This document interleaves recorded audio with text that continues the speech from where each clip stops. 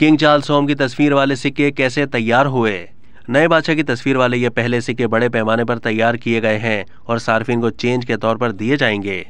एक अंदाजे के मुताबिक चार अशारिया नौ मिलियन नए सिक्के डाकखानों में तकसीम किए जा रहे हैं, जिनमें से कुल तादाद का तकरीबन निसफ सर्कुलेशन के लिए मुख्त है। आंजहानी मलिका की तस्वीर वाले सिक्के अब भी दुकानों पर कबूल किए जाएँगे।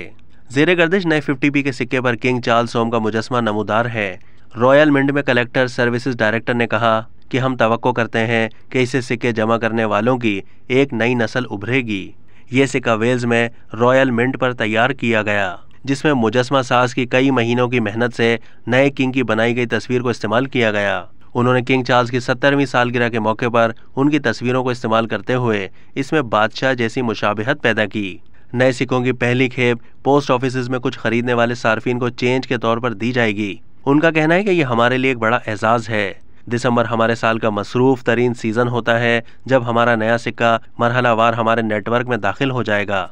उन्होंने कहा कि अगर आपको पोस्ट ऑफ़िस के अपने पहले विज़िट में चेंज में नया 50p का सिक्का नहीं मिलता तो आप अगले विज़िट के दौरान चेंज में हासिल कर सकते हैं। लिहाजा आप इस पर नज़र रखें। उन्होंने कहा कि डिमांड के हिसाब से मजीद सिक्के जारी किए जाएँगे। मलिका एलिजबत की तस्वीर वाले 50p के सिक्कों या ख़राब होने वाले सिक्कों से उनको तब्दील किया जा सकता है। बरतानिया में फिल वक्त ऐसे तकरीबन 27 बिलियन सिक्के जेर गर्दिश हैं, जिन पर आंजहानी मलिका की तस्वीर बनी हुई है और उन्हें अभी चीज़ों की खरीदारी पर अदायगी के लिए इस्तेमाल किया जा सकता है। डीसिमिलाइजेशन से पहले ये आम था कि लोग अपनी जेबों में मुख्तलिफ़ बादशाहों के सिक्के रखे फिरते थे। अब तक के लिए इतना ही। मज़ीद मालूम के लिए डेली जंग के यूट्यूब चैनल को सब्सक्राइब कीजिए।